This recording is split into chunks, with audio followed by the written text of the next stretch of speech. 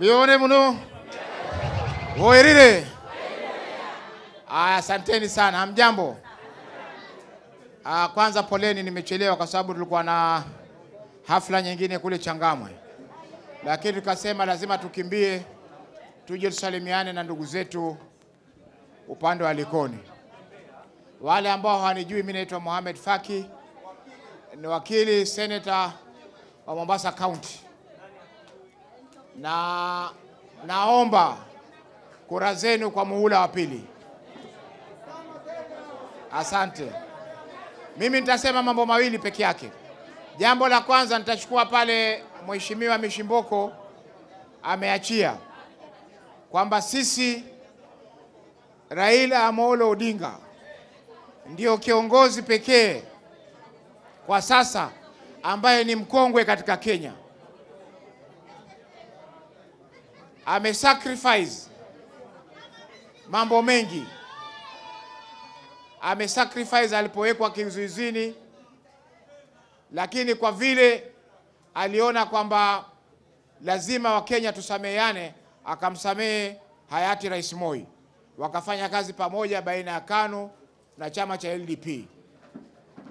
Akaja na Kibaki, Kibaki akamsaliti 2003 alipomuunga mkono, aliposema Kibaki tosha, alipoingia State House akamtupa nje Raila, lakini baadaye akas, akasahau tofauti zake, akakaa naye tena chini 22008 wakatengeneza ile serikali ya Grand Coalition, na serikali hiyo ndio imeweza kufanya mambo mengi ambayo kwa sasa tuenjoy kama Wakenya. Kwa hivyo sisi tumeona kwamba yeye ndio kiongozi pekee kwa sasa katika nchi yetu ya Kenya ambaye anaweza kutuleta sisi pamoja, alete Wakisii pamoja, Waluhya pamoja, Wapwani pamoja, watu wa North Eastern pamoja, na kila jamii ione kwamba sisi ni Wakenya wamoja. Sisi hapa Mombasa leo, kwa sababu ya uongozi wetu mzuri, tunaweza kukaa, usijua huyu ni Mkisii, huyu ni Mdigo, usijua huyu ni Mjaluo, huyu ni Mkikuyu, kwa sababu tunahubiri siasa ya umoja. Kwa hivyo azimio linatuleta sisi wote kama Wakenya mahali pamoja, na ndiyo njia pekee yake ambayo sisi kama Wakenya tunaweza kusonga mbele na kuona kwamba watoto wetu wanakuwa na tuachie nchi ambayo iko united. Hiyo ndiyo legacy ambayo tunataka sisi kuacha tukiondoka ulimwengu huu.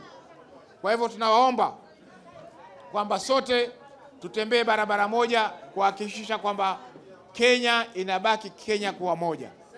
Hatutaki hatutaki nchi yetu iwe balkanized kama vile sasa, kwa mfano miaka 30 Somalia, klani hii na klani hii zinapigana eh?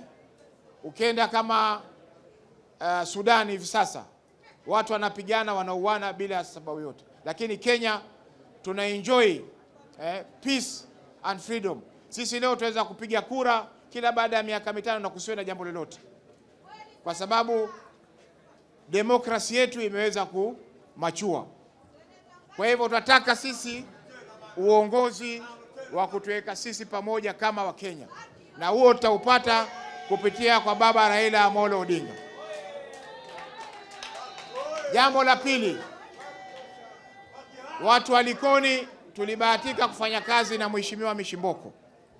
Tumefanya naye kazi kama women rep, kisha akasema kwamba mimi niko tayari kuchukua constituency peke yangu, na kwa kuwa ni dada yetu, tukasema kwamba sisi tutamuunga mkono na tukahakikisha kwamba amepata constituency kama uh,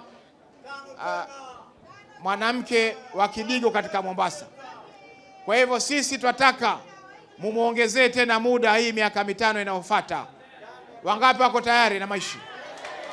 Tuko tayari na mamamishi, tuko tayari na mamamishi, kwa sababu ni kiongozi ambaye yuko accessible, tuweza kumpata wakati wowote. Eh? na mtu ambaye ni mtu wa watu.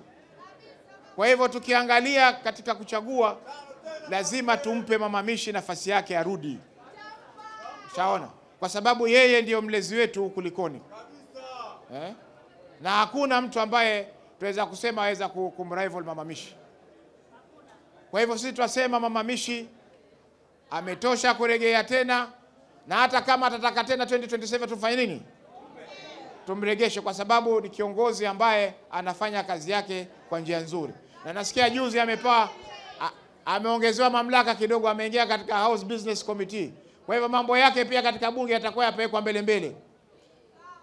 Chairman hapa Abdulsamad, chairman wa PIK, yeye pia ana nafasi yake, lakini katika bunge ikiwa una nafaa mamlaka kidogo, mambo yako yanakuwa rahisi zaidi kuliko kama utakuwa backbencher tu wa kawaida uh, bila jambo lolote la kuzungumza.